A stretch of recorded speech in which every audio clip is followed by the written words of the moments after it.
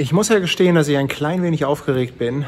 Hinter mir die Bonnie ist gesattelt und ja, so in circa 20 Minuten geht's los. Erstmal zur Autoverladestation hier nach Altona, dann mit dem Autozug runter nach Lörrach. Und ja, die erste Etappe bis nach Hittnau, die werde ich dann alleine fahren und da den Laurenz aufgabeln.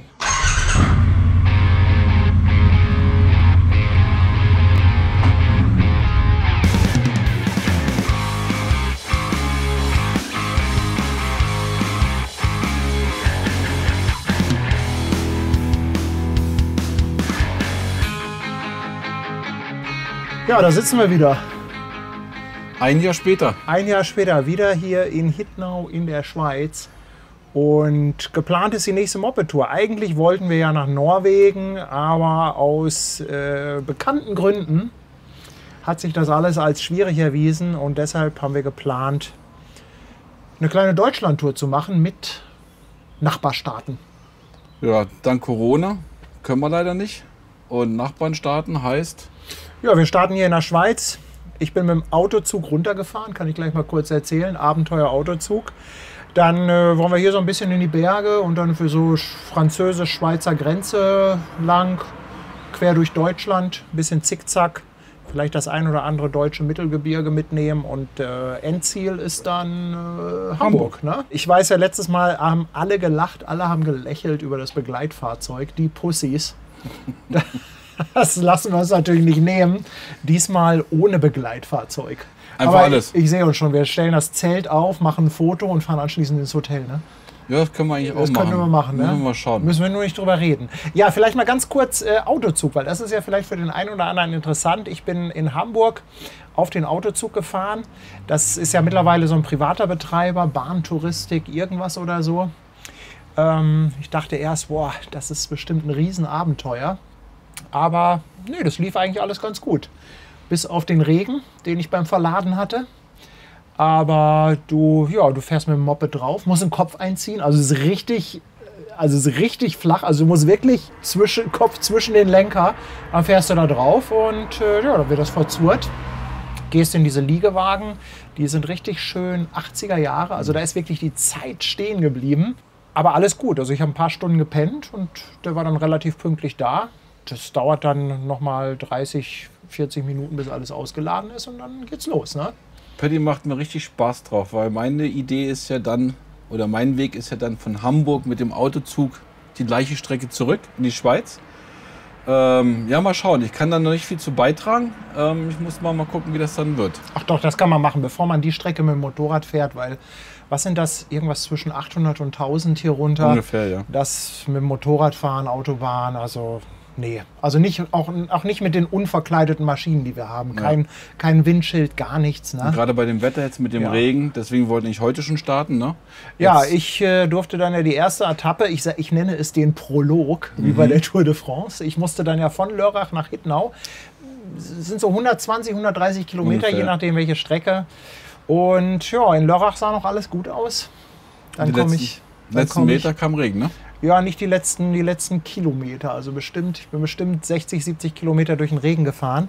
Ja, hier, ne? Na, kommt noch was raus? Ja, hier. Na, es macht aber auch nichts, weil es ist langsam Tradition.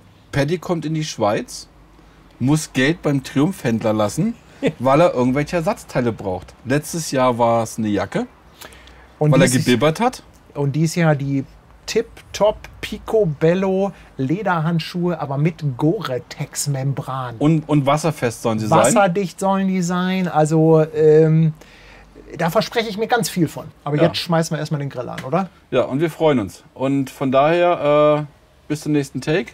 Auf geht's.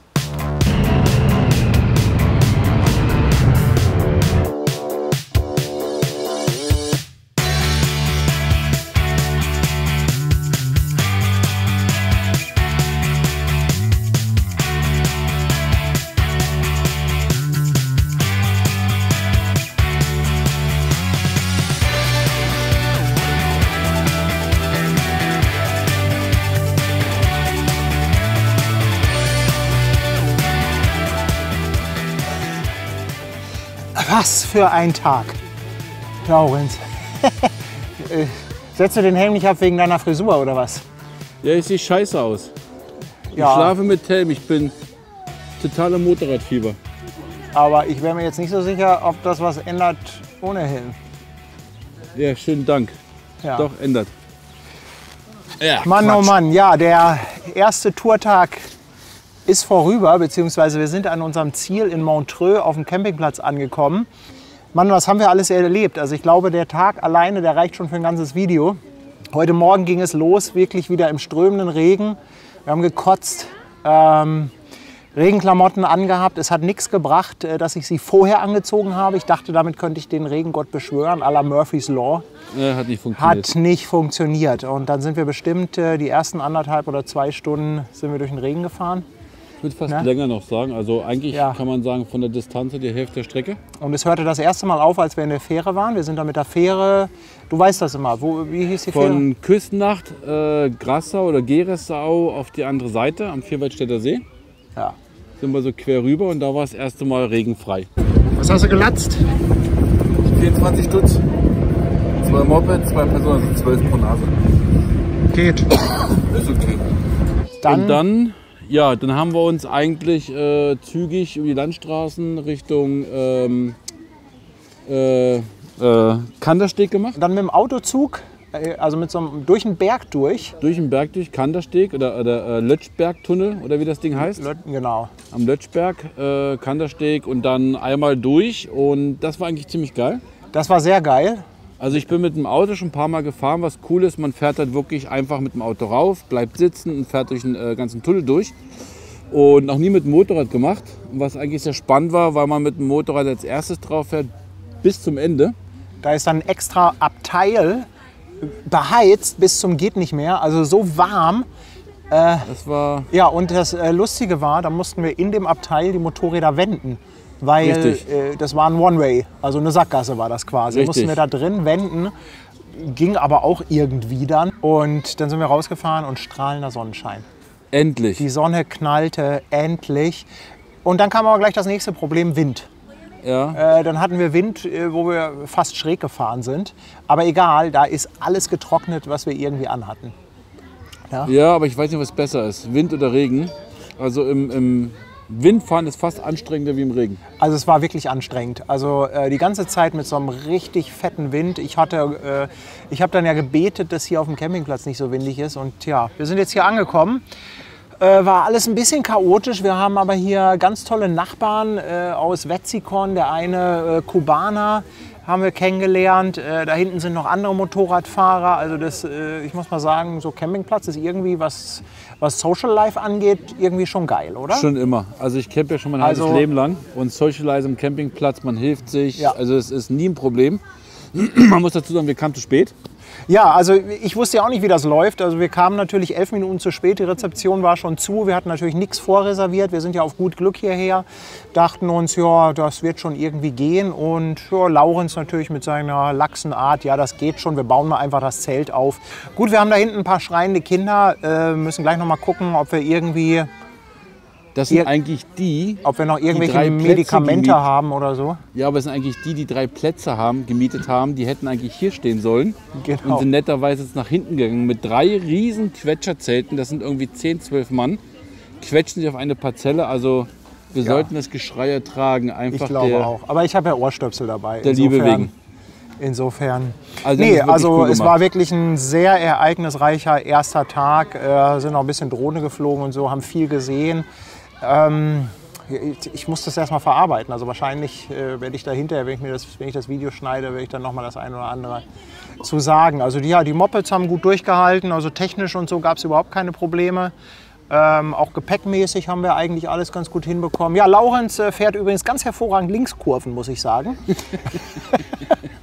Äh, also äh, die, die Linkskurve, die nimmt er so ganz geschmeidig von ganz alleine und bei den Rechtskurven, da muss er so richtig ackern. Da merkst du, wie er das ganze Gewicht auf die Seite schmeißt. Ich muss an meinem Moped einfach mal die Spur einstellen, dass wieder gerade fährt. Und vielleicht die, die Gewichtsverlagerung ein bisschen ändern. Ja, müssen wir, äh, wir müssen da noch mal ein Foto machen. Das Problem ist natürlich, die Scrambler hat äh, zwei oben liegende Auspuffrohre auf der rechten Seite und deshalb hat er eine Tasche nur auf der linken Seite und die ist so vollgepackt mit irgendwelchen Backsteinen. Fotoequipment. Fotoequipment. Also das Ding wiegt bestimmt 20 Kilo, oder? Keine Ahnung, aber ich bin froh. Mal gucken, ob der, der Gepäckträger oder Ja. die, die Haltung bis zum Ende hält. Es hängt und ich bin froh drüber, aber tatsächlich zieht die Karre äh, nur nach links. Ja, die. Zeltaufbau-Challenge habe ich dann grandios verloren. Äh, Ich hatte ja zu Hause schon mal geübt und dachte mir, oh, das Zelt geht aber wirklich gut und einfach aufzubauen. Aber du mit deinem komischen Kinderding hier, das war in 0, nichts äh, aufgebaut. Naja, Das Zelt, man kann nicht ich, immer gewinnen. zehn Jahre alt, von Kim und Lea, meinen Töchtern. Das haben sie im Mu-Camp immer dabei Fertig. gehabt. Das ist so ein, so ein Schulding, wo sie dann so Theater aufführen. dabei gehabt. Zehn Jahre lang. Meine Frau hat gesagt, nimm's mal mit. Und danke, ich habe gewonnen. Ja, äh, die, äh, den Sieg überlasse ich dir gerne. Ja? Genau, morgen beim Abfahren Ja, auch. also ich muss auch sagen, ich habe jetzt ehrlich gesagt gar keine Lust mehr, noch irgendwas aufzunehmen, zu drehen, zu fotografieren. Wir gucken jetzt, dass wir irgendwie ein Bierchen kriegen, lassen den Abend mal ausklingen ne? und äh, nehmen uns die Zeit mal einfach für uns ein bisschen runterkommen und nicht immer nur hier irgendwelche YouTube-Videos machen. Äh, und dann ja, geht's morgen weiter. Dann melden wir uns bestimmt wieder. Ne? Ich möchte das hier noch mit von meiner Töchtern abschließen. Das habe ich mal bekommen. Er ist jetzt im Einsatz. Ich sage jetzt mal Prost. Teddy, darfst du auch einen Schluck? Und ich würde sagen, damit verabschieden wir uns. Das zischt.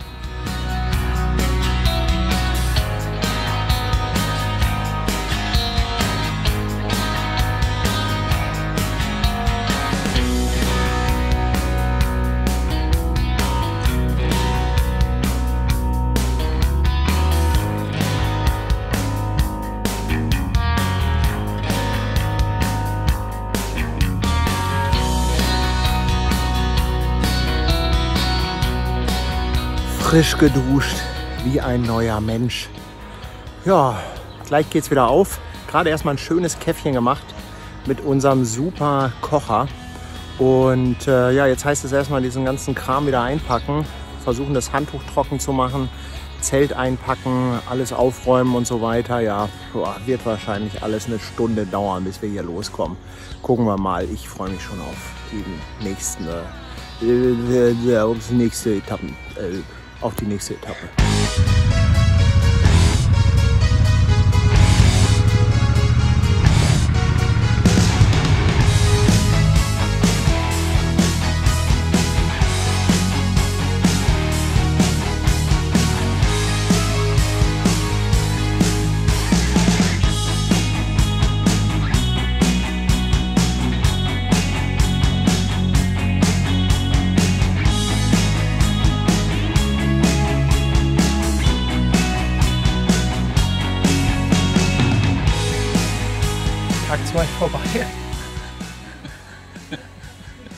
Würde sagen, ab ins Altersheim, oder?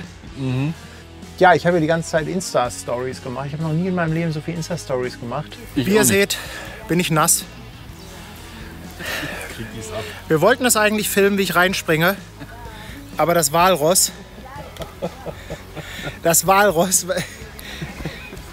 Du Arsch. Ich nehme nächstes Mal jemanden mit, der schon mal eine Kamera in der Hand gehabt hat.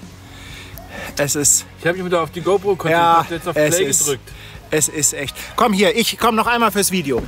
Das Video läuft. Du, äh, nichts anfassen. Nichts anfassen, ja? Don't touch anything. Ich spring da jetzt rein, ja? Ja, ich folge dir. Soll ich das Handy hinterher schmeißen oder? Ja, das ist wasserdicht.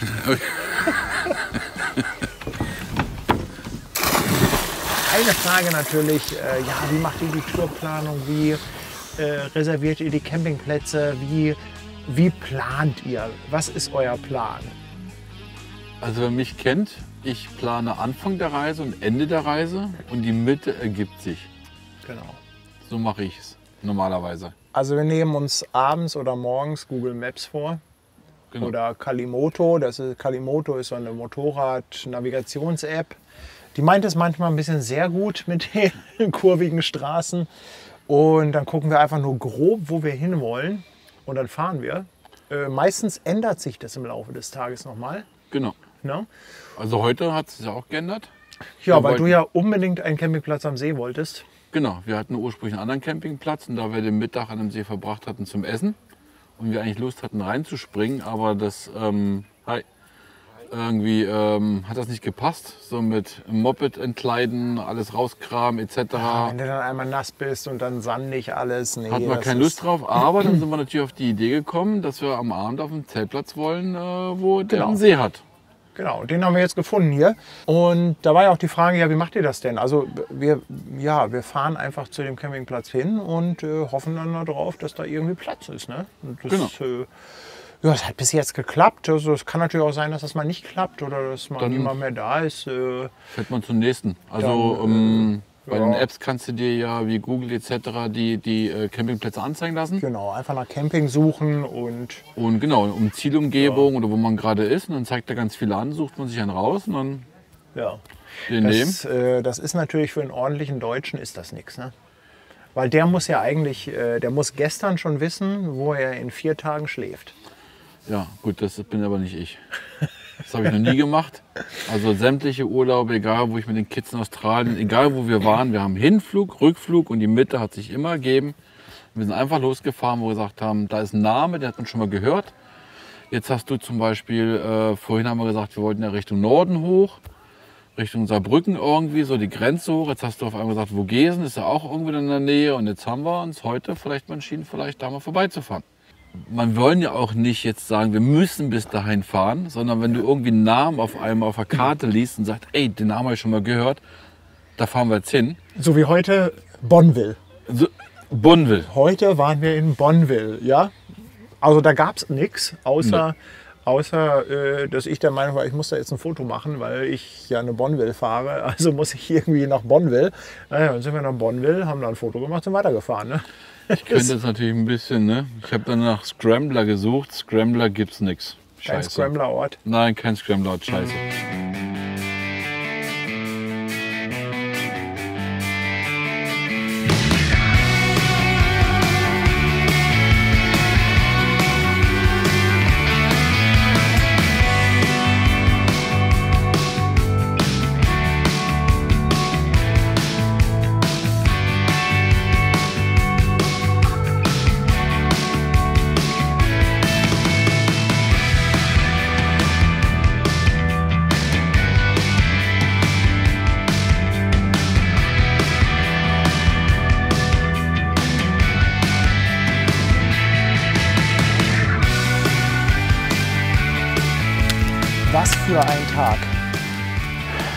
3 unserer Tour ist um. Wir sind in Frankreich. Waren wir gestern ja auch schon. Ähm, richtig schöne Tour. Also gerade der Anfang hat mir sehr gut gefallen. Tolle Landschaft. Oh, das ist also das mit der Windrichtung, das üben wir noch ein bisschen. Äh, hat mir richtig gut gefallen, wobei es ja heute Morgen... Boah, scheiße. Paddy in Flammen. Party in Gefahr. Boah. Wobei es ja heute Morgen mit einem kleinen Malheur losging. Erzähl. Powerbank unter Sitzbank positioniert und an meinem USB-Anschluss angeschlossen. Dann hatte ich die glorreiche Idee, den Schlüsselloch damit hinzulegen. Jetzt habe ich die Sitzbank drauf gemacht. Die hat jetzt eingerastet. Das ist, die Sitz, das ist der Schlüssel unter der Sitzbank. Aber fahren kannst du doch noch, ist ja keyless. Fahren kann ich, keyless. keyless. Das ist eigentlich ziemlich cool. Das Problem ist nur, ich kann jetzt nicht mehr tanken. Weil es gibt auch hier ein Tankschloss. Jetzt steht die Entscheidung offen. Knacke ich das Tankschloss oder knacke ich das Sitzbankschloss? Irgendwann. Naja, gestern Abend haben wir immerhin getankt. Also so 250, 300 Kilometer kommen wir im Notfall. Also ich komme bis fast bis nach Hause. Das, wo wir jetzt sind. Das ist das einzige Gute. Ruf doch deine Frau an, dass sie den Schlüssel äh, bringen soll. Meinst du, die, da, meinst du, das macht die? Heute ist Sonntag. Wenn sie Langeweile hat, Du, in, in drei, vier Stunden ist sie bei uns. Wenn sie Autobahn fährt. ich frag sie mal. Da, äh, kannst du ihr bitte sagen, dass sie auch ihr Gesicht filmen soll? Das reicht schon meins. Also erstmal ein bisschen Aufregung, sind dann aber erstmal losgefahren und ja, haben dann ein bisschen getüdelt, gemacht, getan und so weiter. Ähm, ja, und letztendlich äh, war es dann aber möglich, einfach die Sitzbank ein bisschen anzuheben und mit den Fingern den Schlüssel darunter rauszufischen. Wir waren kurz vom Knacken. Ja, Laurens wollte schon mit dem dicken Schraubenzieher da rein, umdrehen und Dem Restaurant, der Wirt, war es nett, uns einen zu geben. Aber dann äh, mit Pattys Langfingern haben wir es dann hingekriegt, wie gesagt, Sitzbank hoch und den äh, Schlüssel unten wieder rauszufingern. Aber das Schönste an der ganzen Geschichte ist, vor der Abfahrt hat meine Frau noch gesagt, willst du nicht den zweiten Schlüssel mitnehmen? Und ich, so, wieso einen zweiten Schlüssel? Was willst du denn damit? Ja, ihr könnt euch ja vorstellen, wie sie das gefeiert hat, als ich sie angerufen habe. Äh, fünf Minuten lang musste ich mir das anhören. Ich hab's euch ja gesagt. Ne? Boah, also, boah. Alter! Also die ganze Zeit war windstill, ne? Und jetzt kommt der Wind. Das ist schon wieder krass. Ich, äh, ich muss mich mal so ein Stück hier rübersetzen. Ich würde sagen, wir machen jetzt mal das Bier auf Ich hoffe, ich nebenbei. noch im Bild. Ja, also von wegen Campingplätzen. Erster Campingplatz 50 Euro, Euro äh, nee, Franken. Franken. In der Schweiz, zweiter Campingplatz in Frankreich 16 Euro irgendwas. Und heute hier dieser Campingplatz äh, nennt sich Naturbelassen. Da haben wir 6,40 Euro bezahlt. Ähm, sehr geil. Leider gibt es hier weit und breit gar nichts. Wir haben mit Ach und Krach eine Tankstelle gefunden. Und dann kam aber hier der Besitzer zum Abkassieren und wir haben gefragt, ob es nicht irgendwo eine Möglichkeit gibt, noch ein Bier zu kaufen oder so. Und da ist er tatsächlich losgefahren und hat uns zwei Ein- Bier gebracht. Und das sind, das sind so diese kleinen Geschichten, die man auf so einer Reise erlebt und die meiner Meinung nach dann auch erzählenswert sind. Ja, ne? die überlebst, die, sowas erlebst du nur am Campingplatz. ja, ja. Nirgends sonst Und äh, deshalb würde ich sagen, machen wir jetzt erstmal hier diese Flaschen auf. Es sind leider nur 0,25, von daher einmal ansetzen, dann ist die wahrscheinlich weg. so. Die sind ruckzuck leer, ja. Ja. Und müssen mehr genießen, Paddy. Wir hatten kein Abendessen, aber dafür ein Bier. Ein Brot tut's auch.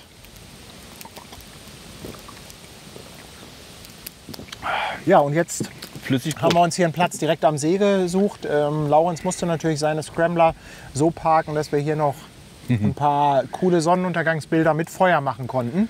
Also heute war eigentlich äh, mit der schönste Motorradtag bis jetzt. Es, es war perfekt, es war auch nicht zu heiß. Am Ende wurde es ein bisschen warm, aber das war dann okay. Also insofern, also von den dreien bis jetzt, also wenn das so Ja. bleibt, hervorragend. also ganz, ganz hervorragend. Der Sonnenuntergang ist auch gerade der Knaller. Ja, und deshalb würde ich auch sagen, machen wir jetzt hier aus, genießen das Bierchen, machen noch ein paar Fotos. Bisschen Lagerfeueratmosphäre, da wo die Scrambler hingehört, in die Natur. Ja. Man könnte, man könnte meinen, dass du das inszeniert hast hier. Nein, nein, habe ich nicht. Aber das ist einfach mal schön zu sehen, wie Motorrad so vorm See am Lagerfeuer. Das ist so richtig. Eigentlich müsste man die Zigarette so à la Marlboro. So auf dem Marlboro, Pferd, so Marlboro Man. So, das ist jetzt so richtig Ja. Kulisse hier. Das ist schon.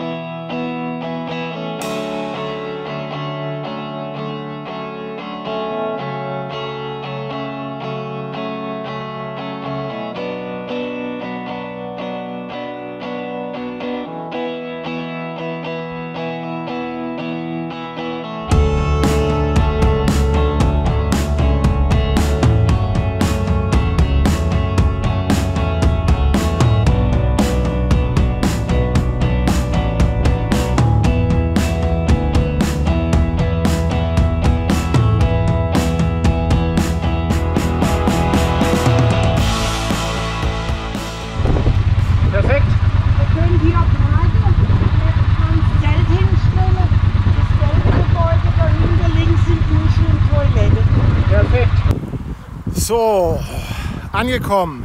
Endlich. Endlich. Wir sind jetzt äh, heute schön über die äh, Vogesenkammstraße gefahren. Richtig klasse, so auf 1200 Meter. War ein bisschen kühl da oben, aber sobald wir wieder runterkamen, war das dann auch wieder okay. Jetzt sind wir hier am Campingplatz Tunisee oder Tunissee. Ähm, ja, ein völlig anderer Schnack als das, was wir gestern hatten. Hier ist also alles ordentlich äh, reglementiert. Die Dame vorne am Empfang, die äh, führt ein strenges Regiment. Also hier hat alles seine Ordnung. Moin Leute. Ja, heute spielt das Wetter wieder wunderbar mit. Also es ist wirklich traumhaft. Nachdem wir uns gestern den Bauch vollgeschlagen haben, die Antje ist ja vorbeigekommen mit einem super Festmahl. Wir haben hier gegrillt und sind ja, endlich mal so richtig satt geworden. Äh, Laurenz, der braucht noch ein bisschen. Ich habe noch mal so einen kleinen Tipp für euch, für alle Biker. Ähm, der beste Kauf, den ich getätigt habe, waren ein paar Ohrstöpsel. Und zwar diese Dinger hier. Ähm, wenn man lange fährt und es dann auch windig ist, dann kann es ja schon extrem laut werden. Und die Dinger, die sind richtig gut. Die ersten zwei Tage habe ich sie nicht benutzt, aber ähm, dann ab dem dritten Tag habe ich sie die ganze Zeit drin gehabt. Das Gute ist, die Dinger filtern die Windgeräusche raus, die Fahrgeräusche, aber man kann trotzdem wunderbar Musik hören. Also das Kommunikationssystem, das funktioniert auch hervorragend. Also ist vielleicht ein kleiner Tipp für alle, die beim Helm auch äh, ja, so ein bisschen mehr auf den Style achten, äh, so wie ich ne? hier und jetzt nicht irgendwie so einen mega Hightech-Helm haben, so mit äh, Windschutz und bla bla bla. Äh, guckt euch die mal an, also heißen irgendwie Alpine äh, Motosafe oder so. Ähm, war der beste Kauf ever.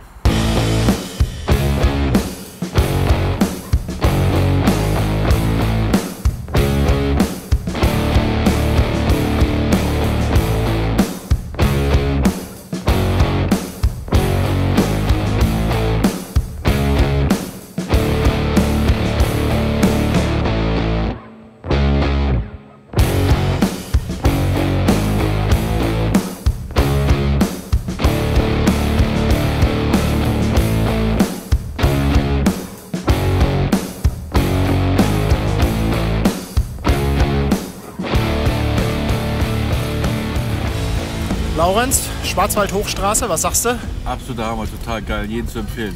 Und die Torte, die nicht mehr da ist, auch der Hammer. Hat ja auch nur so ungefähr 10 Sekunden gedauert, da war die Torte weg, ne? Ja. Ein bisschen Alkohol drin, glaube ich, aber. Äh, äh, un petit peu, un petit peu. Klein wenig.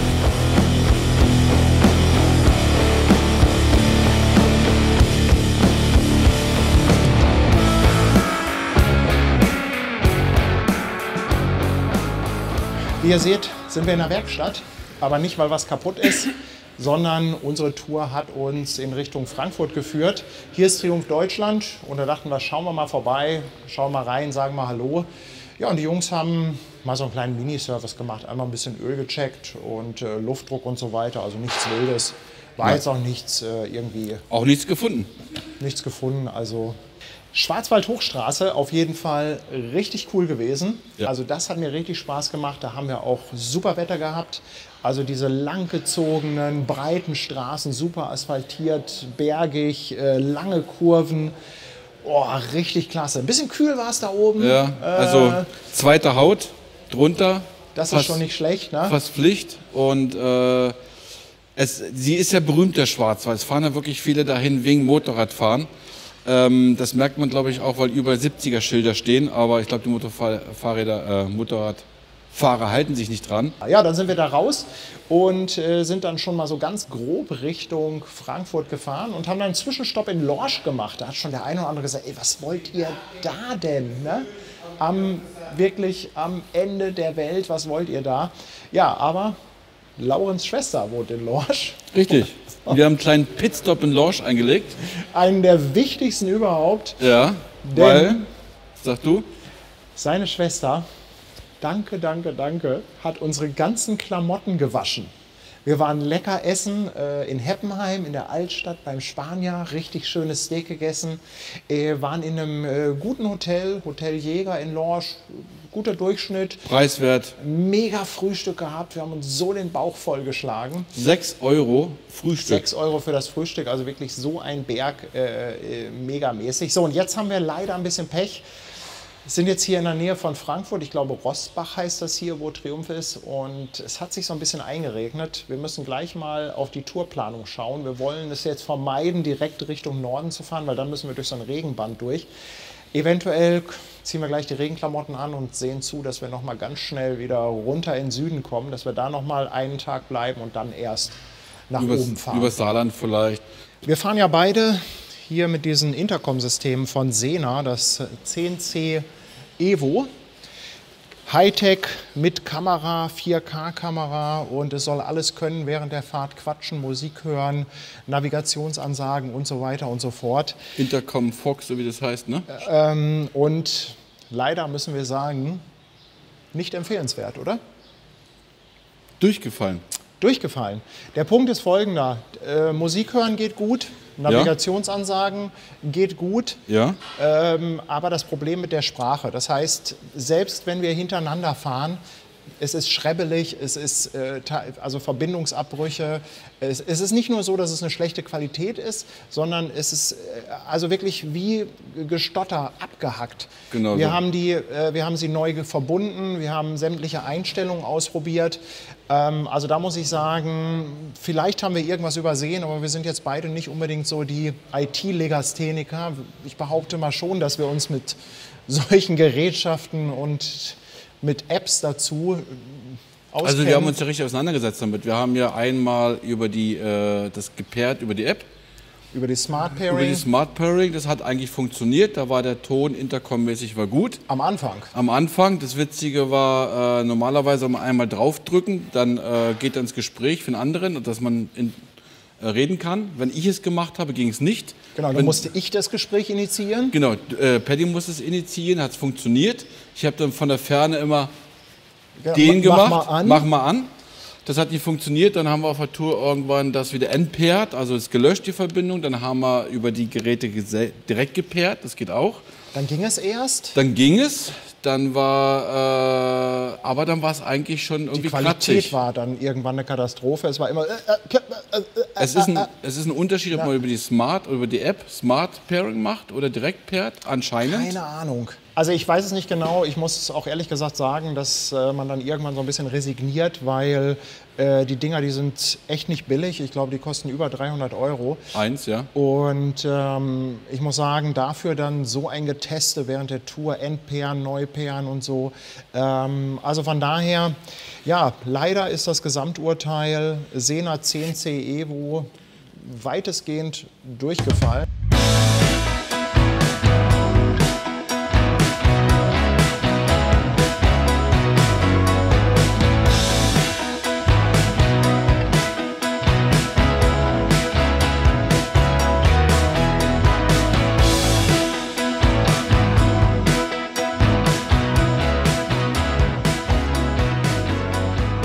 Wir haben es tatsächlich geschafft, aus dem Regen rauszufahren. In Frankfurt, da hat es ja echt noch die ganze Zeit genieselt, aber auch so ein unangenehmer Regen. Also, ja, man hat die ganze Zeit so diese, äh, die, die Tropfen auf dem Visier. Ja, jetzt sind wir hier irgendwie, ich glaube, in der Pfalz oder so. Ne? Hier Landgasthof, äh, Klosterhof, haben uns einfach äh, über Booking was gesucht. Ja, ich weiß, was ihr wieder denkt. Weicheier, ist vorbei mit Zelten. Aber hey, wir hatten schon vier Nächte im Zelt. Hatten wir vier oder hatten wir drei Nächte im Zelt? Vier, glaube ich, ne? Oder drei, ist ja auch egal. Auf jeden Fall, auf jeden Fall habe ich schon mehr gezeltet als wahrscheinlich äh, den Rest meines Lebens. Ja, und was soll ich sagen? Wir sind nach dem Wetterradar gefahren, also Regenradar, wahrscheinlich mit die wichtigste App für Motorradfahrer. Und äh, mussten wieder ein bisschen in Richtung Süden. Wir wollten eigentlich schon auf nach Norden und sind dann aber wirklich so durch, äh, durch das äh, Regenband durch. Ja, und dann äh, plötzlich hier in der Pfalz richtig schön, tolle Straßen durch die Weinberge. Ja, da sind wir auch so ein bisschen gekachelt. Äh, ich glaube, wir sind hin und wieder auch mal 10 km/h zu schnell gefahren. Aber hat richtig Spaß gemacht. Also, das ist irgendwie aber dann auch so ein bisschen das Geile an solchen Touren. Du hast diese Höhen und Tiefen, du stehst da und es ist am Regnen und du denkst dir, Mensch, heute noch mal die Pferde satteln, eigentlich keine Lust. Ja, und dann machst du es doch und bist plötzlich raus aus dem Regen äh, und dann so sprachlos wie Laurenz. Was gibt's denn heute zu essen bei dir? Ich bin noch im Überlegen. Salat vielleicht. Ich glaube, Salat wäre eine gute Wahl, wenn ich mir das so angucke.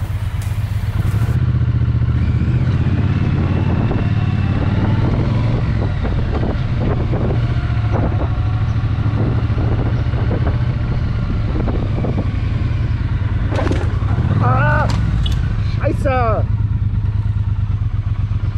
So, erster Crash.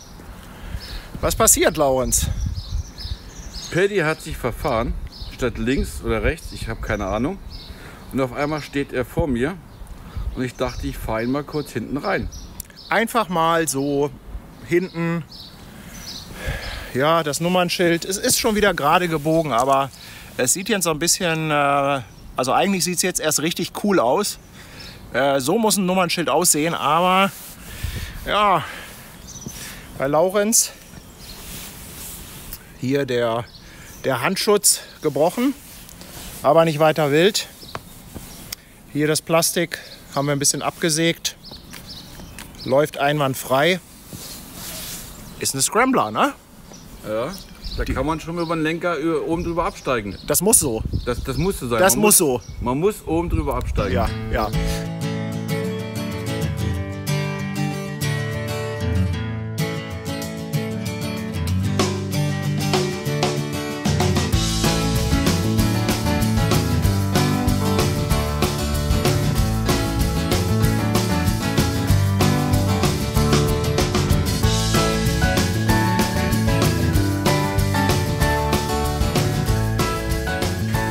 380 Kilometer heute abgerissen. Vorbei bei den Steel Buddies Morlock Motors.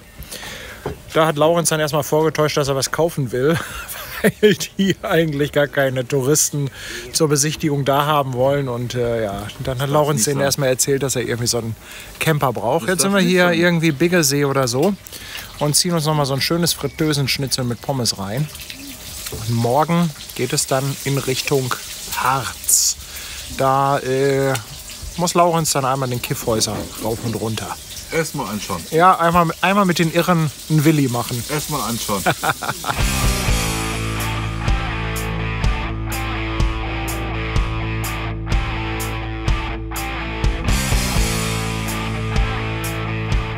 Der Plan an dem Tag war, rüber in den Harz zu fahren. Das mussten wir einfach auf unserer Tour mitnehmen, denn je weiter man nach Norden kommt, umso mehr geht es dann halt nur noch über Flachland immer geradeaus. Es fing so ein bisschen zu regnen an und wir zogen vorsorglich die Regenklamotten an.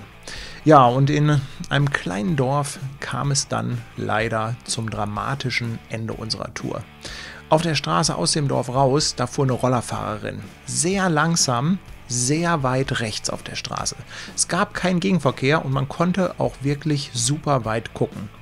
Laurenz setzte zum Überholen an und das sah alles absolut sicher aus. Ich fuhr ja hinter ihm.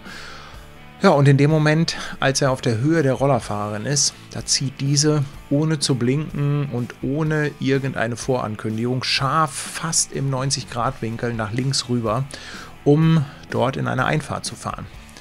Das hat natürlich dann ordentlich gescheppert. Die beiden sind wirklich über die Straße gerutscht. Ich fuhr dahinter und dachte nur, oh Gott, so eine Scheiße. Ja, die Rollerfahrerin, die wurde dann noch mit ins Krankenhaus genommen, weil sie irgendwas am Bein hatte. Sie war aber ansonsten den Umständen entsprechend okay, zumindest soweit ich das beurteilen konnte. Laurens, der hatte ein dickes Bein und wie sich später dann herausstellte, auch ein paar gebrochene Rippen. Ja, und die Scrambler, total Schaden. Insgesamt haben wir vier Stunden an der Unfallstelle verbracht, bis dann alles geregelt war. Übernachten konnten wir glücklicherweise bei einem Cousin von Laurenz, der etwa eine Stunde entfernt wohnte und ihn auch mit dem Auto abgeholt hat. Ja, und am nächsten Tag, da ging es dann für Laurenz mit dem Zug zurück nach Hause. Ich habe mich ebenfalls direkt auf den Rückweg gemacht, weil ich natürlich auch keine Lust mehr hatte, jetzt alleine die Tour fortzusetzen. Von daher kein schöner Abschluss für die Tour, aber mittlerweile sind alle Wunden verheilt und ja, Laurenz hat auch schon wieder ein neues Bike. Damit endet dann leider auch das Video an dieser Stelle. Ich danke euch fürs Zuschauen. Tschüss Leute.